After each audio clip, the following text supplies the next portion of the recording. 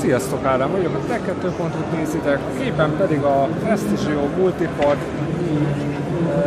Quantum 9.7-es tabletet látjátok, ami egy 9,7 szoros kijelzővel rendelkező készülék, retina felbontása 2048x1536 pixeles, IPS panellel, uh, igazából még nem túl vékony kerettel, tehát annak ellenére, hogy egy nagyobb kijelzővel rendelkezik, még nagyobbá teszi a keret, ami így közelről nézve látszik, az tényleg egészen széles ezen a méreten.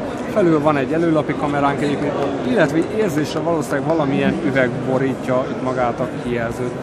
A hátlap teljes egészében fém, egy kékes, szürkes, sötét borítása van tulajdonképpen. Nagyon sok minden nem is találunk itt, számos felirat mellett igazából csak egy hátlapi kamera az, ami említésre méltó.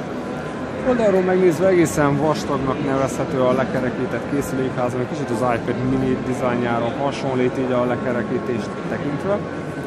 Felül van az összes csatlakozónk, találunk egy jacket, egy mini HDMI-t, egy micro USB-t, van egy microSD kártyaszlatunk, egy DC távcsatlakozónk, illetve egy mikrofonunk is. A tablet többi oldalán igazából nem sok minden van, alul van még kettő darab hangszóró, tehát sztereóban képes igény szerint szólni. A kijelző, ahogy mondtam, 2048 1536 pixeles, ez közelről megnézve igazából látszik, hogy egészen részletgazdag, tudja, hogy mint az új generációs iPad-ek esetében. Azonban minimálisan, mintha szaggatna helyenként a felület, a Rockchip RK3188-as processzor van benne, valószínűleg ez helyenként már-már meghaladja a processzorját, a Mali 400-as grafikus gyorsító képességeit, nem tökéletesen nevezhető gyorsnak a tablet. Ha belemegyünk a menüben, megnézzük a kamerát, ami hát egészen rossz, amint látod, ez egy két megapixeles kamera, nagyon lassú, nagyon gyenge, sajnos.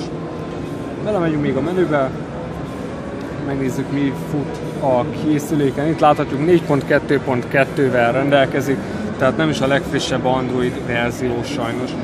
Ez volt tehát a Retina kijelzős Prestigio Multipod 4 Quantum 9.8 9.7-es tablet. Kövessetek minket továbbra is a Tech2. oldalon.